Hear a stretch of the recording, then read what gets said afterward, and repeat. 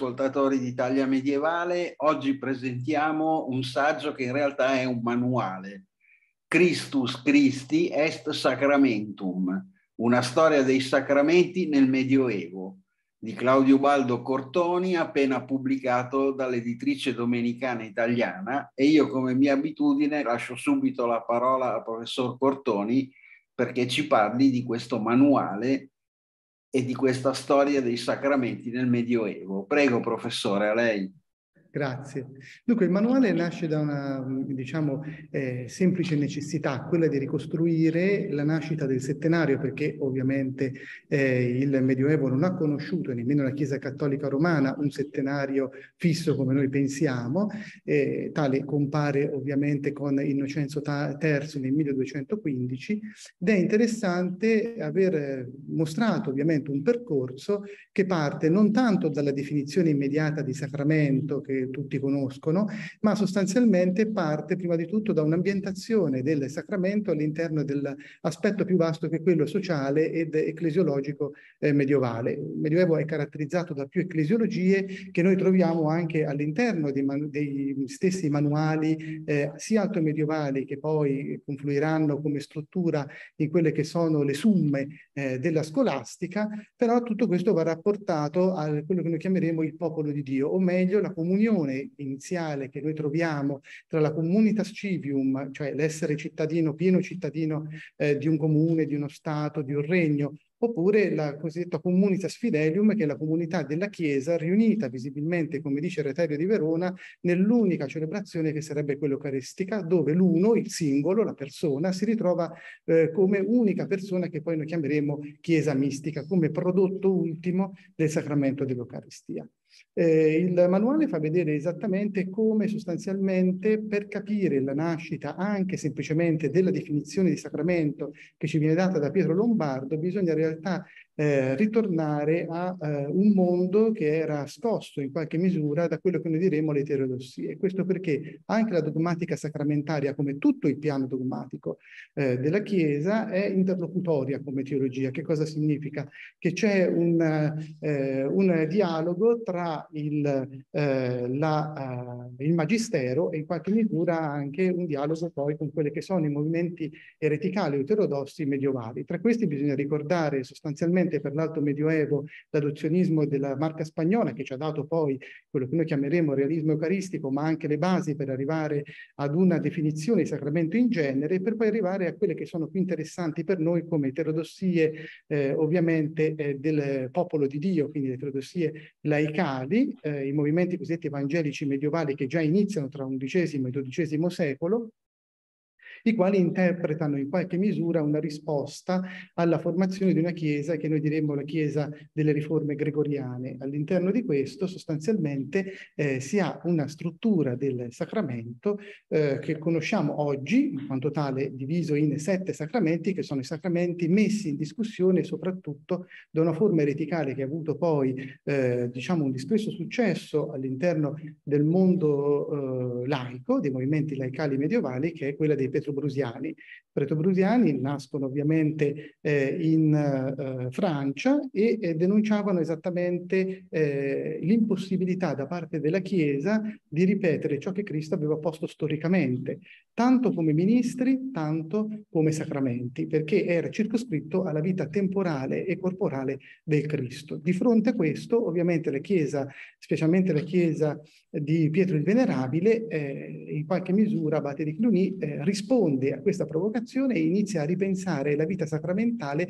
all'interno di una struttura ecclesiastica dove lentamente il centro eh, del sacramento è stranamente uno dei sacramenti di governo, cioè l'ordine eh, l'ordine perché pur non essendo necessario, ad esempio, per la salvezza eh, della, del singolo cristiano, del singolo fedele, è in realtà poi necessario per l'amministrazione di quasi tutti i sacramenti, fatta eccezione per il battesimo, per il quale il ministro ordinato era preferibile, ma eh, ovviamente non l'unico. Si dice già nell'Alto Medioevo che poteva perfino battezzare eh, una donna sotto questo profilo, eh, le nutrici, soprattutto le levatrici. Quindi l'aspetto sociale e l'aspetto ereticale prende sotto questo punto di vista la prima parte del manuale per comprendere poi come si arriva eh, ad avere una definizione in genere di sacramento che è sostanzialmente quella che ci viene dato da eh, quello che noi chiameremo un eresiarca, eh, che è dell'undicesimo secolo, Berengario di Tours. E questo fa eh, emergere un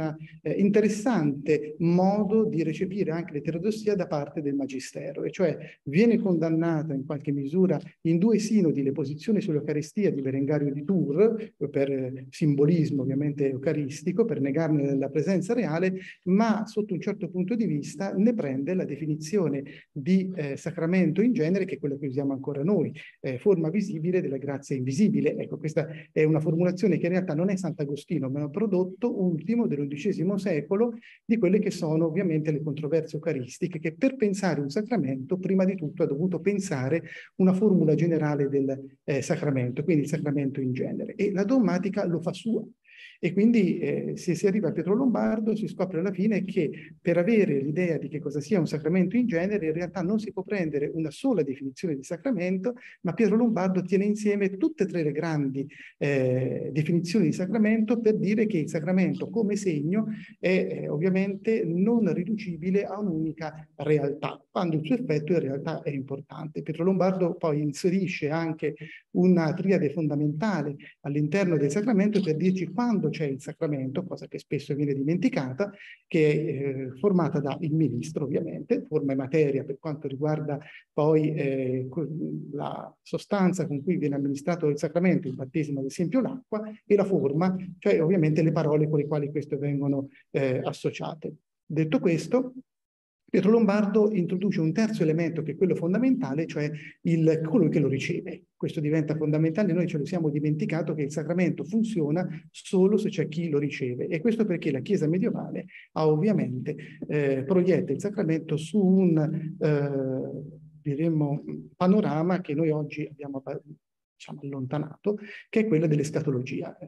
il pensiero e la vita dell'uomo medievale è estremamente scatologico, quindi tutti i sacramenti sono in vista dell'escatologia, cioè dei nuovissimi sotto questo punto di vista. E infatti eh, per comprendere il sacramento nel Medioevo si deve avere almeno di fronte anche la struttura, eh, l'evoluzione del pensiero teologico fino ad arrivare alla scolastica. Eh, per quanto riguarda l'Alto Medioevo si parte semplicemente dalla forma ecclesia normalmente, quindi come è formata la Chiesa per arrivare a capire qual è il sacramento e come vengono amministrati amministrati i sacramenti all'interno della Chiesa, mentre la scolastica introduce i sacramenti dentro un ambiente o un panorama molto più ampio, eh, iniziando da una speculazione un pensiero su chi è Dio per arrivare poi alla caduta dell'uomo, l'incarnazione, l'istituzione della Chiesa e dei sacramenti per terminare con i nuovissimi. Il sacramento si pone tra il riscatto dell'uomo per quanto riguarda il peccato dei progenitori,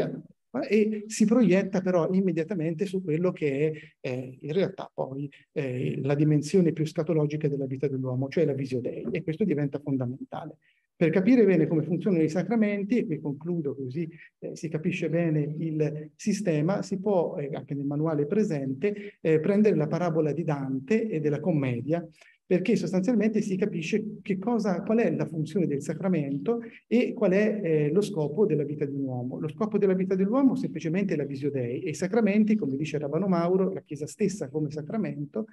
eh, ha il compito di condurre l'uomo al sabato eterno. Quindi nel settenario, quando si parla di battesimo è l'ingresso nella vita, quando si parla di unzione degli infermi è l'uscita dalla vita. Ecco perché poi è diventato l'estrema unzione, ma non riferito soltanto alla malattia del corpo, ma al destino stesso della persona.